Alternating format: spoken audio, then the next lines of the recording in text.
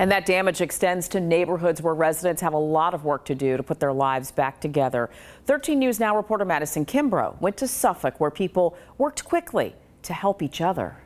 You could hear something going on outside. I heard it in the bed. I, I heard it roll. I knew it was coming. I got on up and got and got somewhere safe. Tropical storm Isaias made a major impact on the neighborhood of High Place in Suffolk this morning. Fallen trees and down power lines blocked roadways and made for a rude awakening for several residents in the neighborhood. My house has um, a few missing shingles and um, siding. To me, it sounds like half of my um, house is being ripped off. Around 3 a.m., the city of Suffolk was under a tornado warning as several areas around the city and near downtown experienced high winds and heavy rainfall. James Morris a local of Suffolk, experienced extreme damage to his home. A storm so severe, he says he hasn't experienced anything like it in decades. The roof, just on the, on the other side, all the shingles are gone.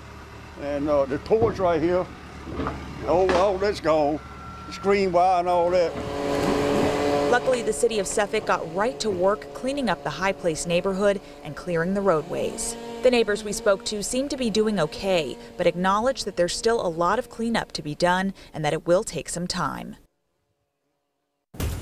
And let's get another look at some of what you're seeing out there. Many of you have shared pictures and videos with us throughout the day. It's huge in helping us tell the story. Keep them coming to you. Can text them to 628 6200, area code 757. So now let's check out this in Newport News. Quinna Carter texted us this picture. You see that mangled awning there at the gas station, 49th Street and Jefferson Avenue. Bruce T sent us this picture. This one is from Norfolk. Pretty sizable tree there that came down on Powhatan Avenue, right on top of that home that's over in Larchmont.